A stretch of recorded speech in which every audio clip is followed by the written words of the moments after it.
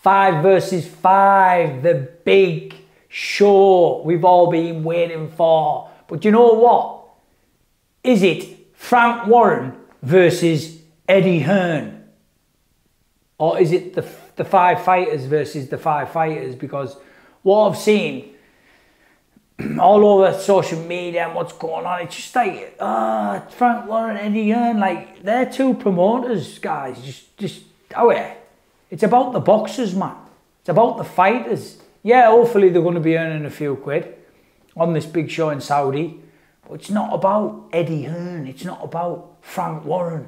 Yes, I'm glad they're working together because that's what they need. Because boxing, with all these YouTube misfits and stuff, with the way the world's changing, like boxing needs promoters to fight, like not each other, obviously, because it's not about them needs the boxers to fight the boxers because boxing it, it's sliding a bit for me. But is it is this going to bring a bit of oomph back in the boxing world? Yes, I hope it does. You've got the big guys, haven't you?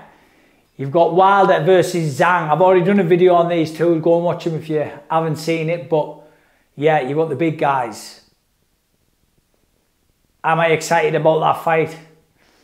Not really, because they're both just on the slide, bump meeting down at the bottom, meeting down at the bottom of the slide, kicking each other's feet. But we're always excited about heavyweight fights, so just hopefully we're going to see a knockout, which I think we will. I think Wilder's finished. I don't think Wilder's got much left.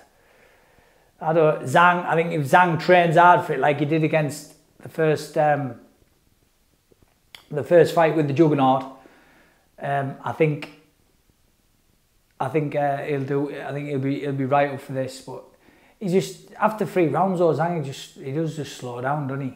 And Will Wilder, Wilder's just move and look for that big shot. It's still an intriguing fight.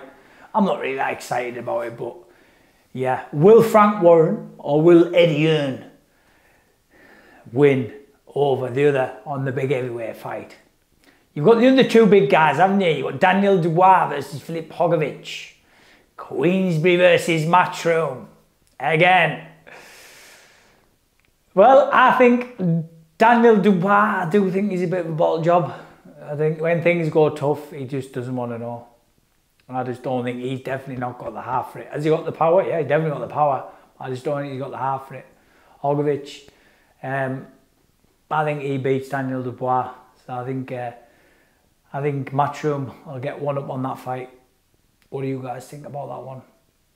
You've got Raymond Ford against Nick Ball.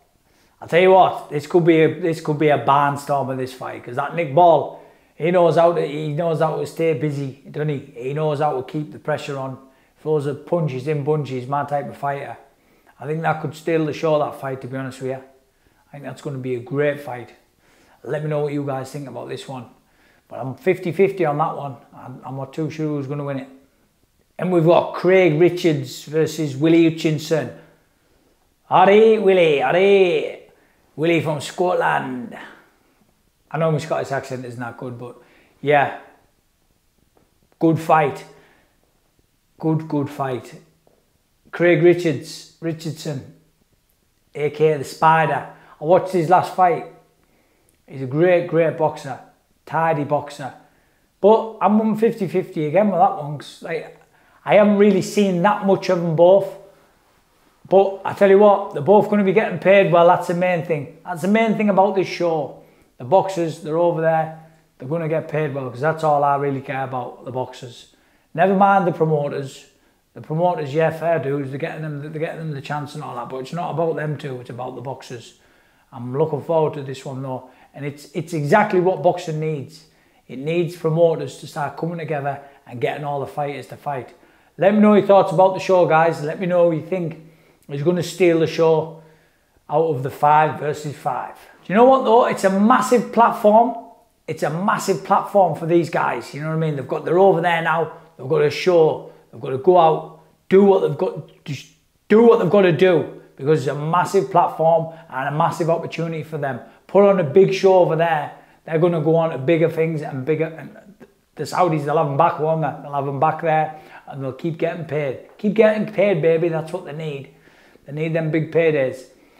Who do I think is going to come out on top? The big question. Is it going to be Matchroom or is it going to be Queensberry? Well, I'm going with all fours, Matchroom. I'm going to say Matchroom come out on top.